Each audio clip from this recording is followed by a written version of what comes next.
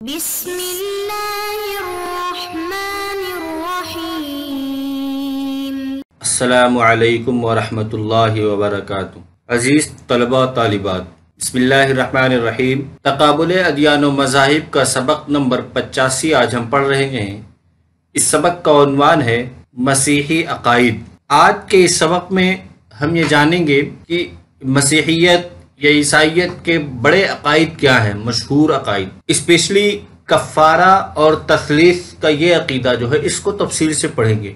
फिर इस तसलीस के ज़िम में की तसलीस की तशरी में तीन चीज़ें आती हैं। वो तीन क्या, वो भी अकीदे का हिस्सा है, यानी इसी तसलीस की तशरी है। ये तमाम चीज़ें इस तफसील से पढ़ेंगे। फारा अकीद कफ़ारा मौजूदा ईसाइत की इमारत का बुनियादी पत्थर है। कफ़ारा के लफ्ज़ी माना ढांकने और छिपाने के हैं। इस्तेलाह में इसका मफहूम यह है कि यसू मसीह ने सलीब पर जान देकर तमाम बनी आदम के गुनाहों को छिपा लिया है और उनके लिए नजात का मूजिब बन गया है।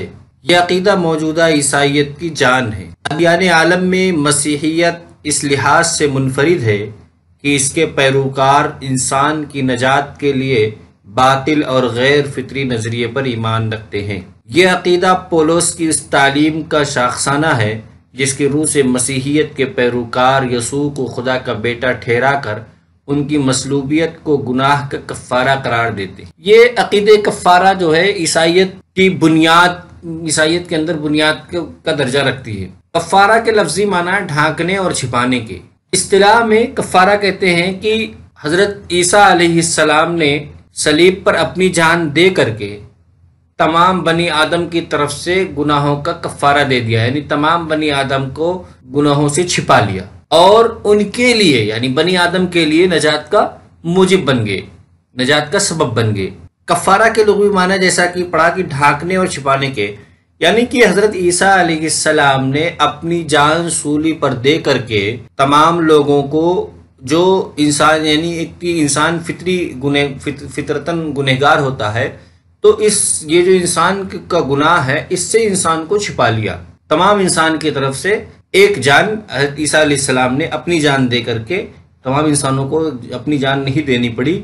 इस तरह से गुनाहों का कफारा दे दिया। ईसाइत इस अकीदे की बुनियाद पे सबसे मुनफरद मानी जाती है कि ये बातिल और गैर फितरी नज़रिए पर ये मान रखते हैं कि एक एक इंसान की जान की कीमत तमाम बनी इंसान के गुनाह की। और फिर इसकी जो बुनियाद है कि तमाम इंसान फितरतन गुनाह इस दरअसल इसी पे एतराज़ होता है। ये एक गैर फितरी चीज़ है कि तमाम इंसान कैसे फितरतन गुनाह हो, गुनहगार हो सकता है। फिर उस, इस बुनियाद पे जो इमारत खड़ी की गई कि गुनाह, गुनहगार होता है, इसलिए कफारा देना ज़रूरी था। वो कफारा है ईसा सलाम ने अपनी जान सूली पर दे करके अदा किया। ये अकीदा चूँकि दरअस पोलोस की तरफ़ से आया। इस अकीदे का गढ़ने वाला पोलोस है पोलोस ने कहा कि हज़रत ईसा पहले तो हज़रत सलाम को बेटा साबित किया खुदा का। फिर उसके बाद ये कि उसने अपनी गुनाह, मसलूबियत से गुनाह का कफ़ारा अदा किया। अकीद कफ़ारा का आगाज़ दरअसल सेंट पॉल के ज़माने से शुरू हुआ। सेंट पॉल जिसने एक नए दिन की बुनियाद डाली, जो कि अकायद, उसूल और अहकाम में उस दीन से बिल्कुल मुख्तलिफ़ था, जो हज़रत मसीह ने पेश किया था। जब इसने नया दीन बनाना शुरू किया उस वक्त भी इसके पैरोकारों ने इन बिदात की मुखालफत की। मगर चौथी सदी के आगाज़ 325 ईस्वी में नेकिया की कौंसिल ने पोलोस के अकायद को कतई तौर पर मसीहियत का हतमी मज़हब करार दे दिया। पुरान करीम और अनाजिल अरबा से मसलूबियत मसीह उनके दफन किए जाने और मरकर जी उठने का अफसाना महज ख्वाब शराब और रूया पर उसवार किया जाना आया है। खुद इंजील बरनबास के मुताबिक अकीद कफ़ारा सेंट पॉल का ईजाद करदा है। इसमें अकीद कफ़ारा की तारीख बयान की गई पूरी भारत में।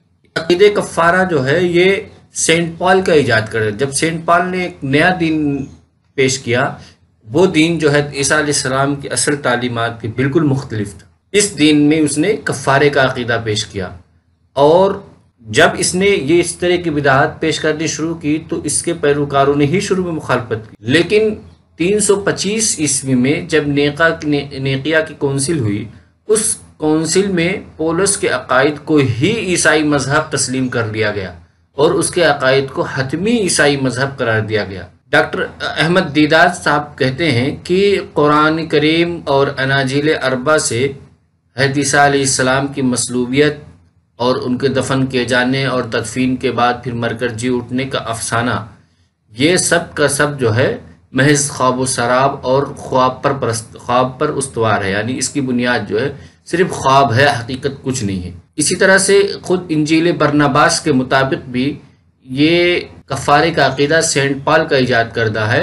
इस, ये ईसा इस्लाम की किसी और तालीम में ये बात नहीं पेश की गई। अकीद तसलीस अकीद तसलीस इसको अंग्रेज़ी में ट्रिनिटी भी कहते हैं। ये ईसाइत का सबसे मशहूर ईसाई मज़हब में खुदा दर्ज झेल तीन अकानीम यानी अज्जा से मुरक्ब है।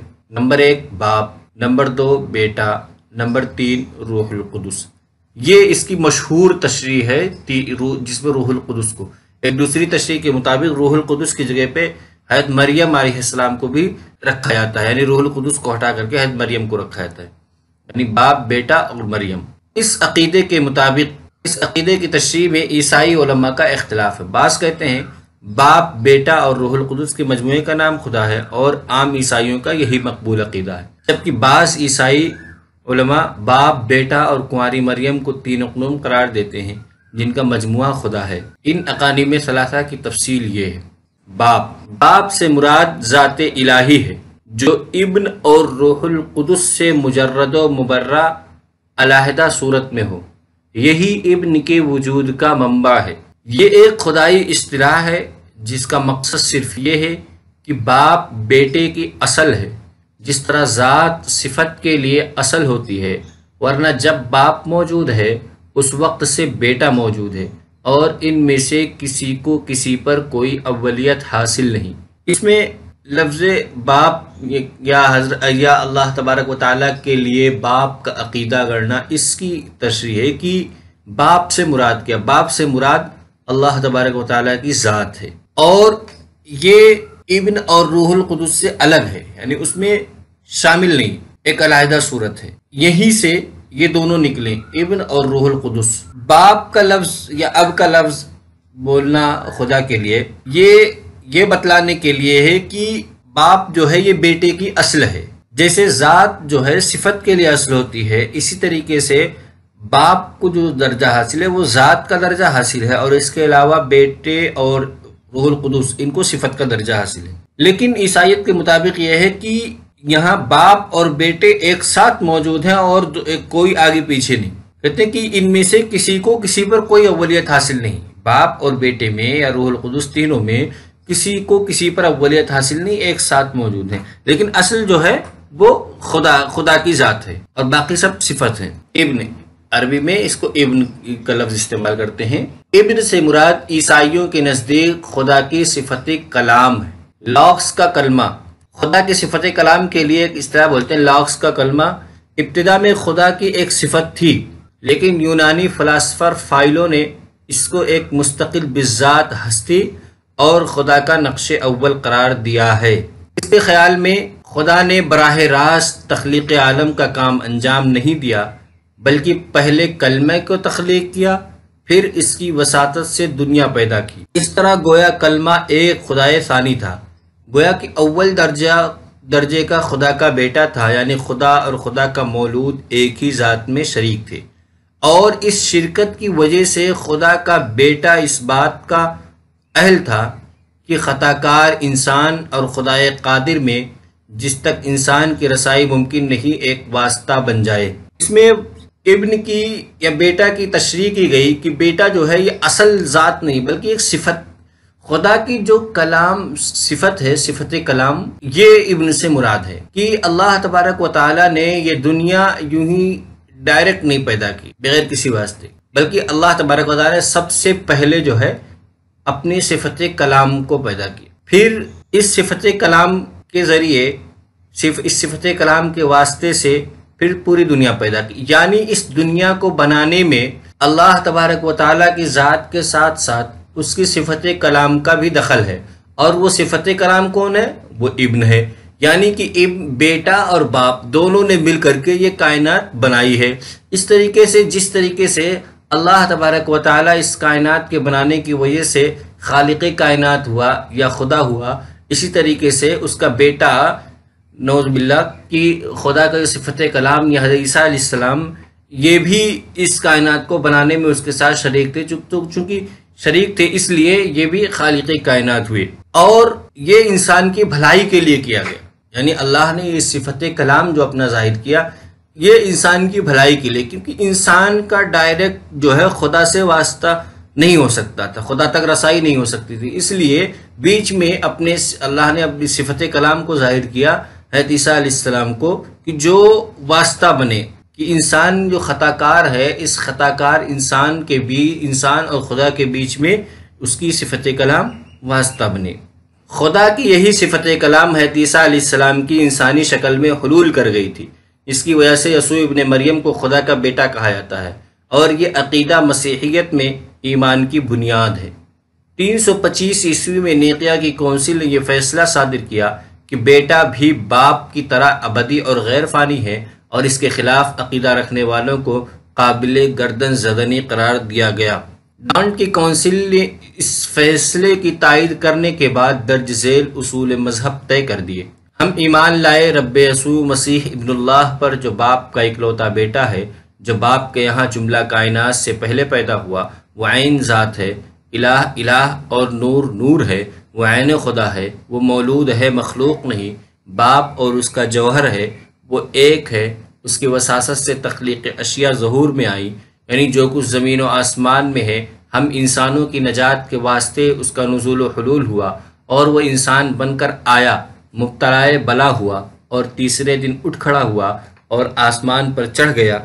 अब जिंदों और मुर्दों का इंसाफ करने फिर आएगा। यानी ईसाइत में जो इब्न का यकीदा है, वो ये कि सिफत कलाम जो था, इसने इंसानी शक्ल में हलूल की और हज़रत ईसा की शक्ल में ज़ाहिर हुआ और जिसे यसू इब्न मरियम कहा जाता है। फिर उसके बाद 325 जो नेका की कौंसिल थी, उसमें इस बात का फैसला लिया गया कफ़ारे की तरह कि हज़रत ईसा अल्लाह के बेटे हैं। लेकिन ये मखलूक नहीं, बल्कि मौलूद है और जिस तरीके से इला इला यानी ये भी एक उसके साथ ही साथ है, ये भी नूर नूर है इला इला है। इन्हीं के वास्ते से तमाम अशिया जहूर में आई, तमाम अशिया की पैदाइश हुई। जो कुछ ज़मीन में है, सब के सब इसी के वास्ते से हुई। और ये इंसान के नजात के लिए दुनिया में आया था, ताकि उन पर उनकी जो फितरी गुनाह है, उसका कफ़ारा बने। इसने अपनी जान दे करके कफ़ारा अदा किया, और उसके बाद तीन दिन तीन दिन के बाद फिर ये ज़िंदा हुए सलाम और ज़िंदा होने के बाद फिर आसमान पे चले गए। अब क़यामत के दिन फिर इंसाफ करने के लिए दोबारा फिर ज़िंदा होंगे। यानी रूहुल कुदस। रूहुल से मुराद बाप, बेटे की सिफत हयात और सिफत मोहब्बत है। यानी इस सिफत के ज़रिए खुदा की ज़ात अपनी सिफत इल्म से मोहब्बत करती है और बेटा बाप से मोहब्बत करता है। ये सिफत भी जौहरी वजूद रखता है और बाप बेटे की तरह कदीम है। इस वजह से इसे मुस्तकिल उकनूम की हैसियत हासिल है। अलगर्ज ईसाइत में खुदा दर्ज झेल तीन अकानीम पर मुश्तमिल है। नंबर एक, खुदा की ज़ात, जिसे बाप कहते हैं। नंबर दो, खुदा की सिफत कलाम, जिसे बेटा कहा जाता है। नंबर तीन, खुदा की सिफत हयात मोहब्बत, जिसे रूहुल कुदस कहा जाता है। इन तीन में से हर एक खुदा और तीनों मिलकर तीन खुदा नहीं, बल्कि एक ही खुदा है, जिसे तीन में एक और एक में तीन कहा जाता है। रूहुल कुदस दरअसल ये भी अल्लाह की सिफत है। लेकिन चूँकि ये सिफात को कदीम मानते हैं, इसलिए ये रूहुल कुदस खुदा की सिफत है। तो जिस तरीके से खुदा की दीगर सिफात, जैसे सिफत कलाम कदीम है, इसी तरह से खुदा की सिफत हयात और सिफत मोहब्बत भी कदीम है। इसलिए हज़रत ईसा, हज़रत जबरीसलाम भी कदीम हुए, रूहुल कुदस जो है, ये भी कदीम हुए। और ये उसी तसलीस का एक हिस्सा है। जिस, पहले हिस्सा तो बाप, दूसरा हिस्सा बेटा, तीसरा हिस्सा रूहुल कुदस। और इसको या तो यूँ कहा जाए कि तीनों मिलकर एक होते हैं, या एक ही को तीन हिस्सा कह दिया जाए। आज के इस सबक का खुलासा है कि इस सबक में हमने सबसे पहले कफ़ारा के बारे में पढ़ा, फिर उसके बाद तसलीस के मुतालिक पढ़ा कि तसलीस का क्या अकीदा है। और तसलीस में फिर बाप, बेटा और रूहुल कुदस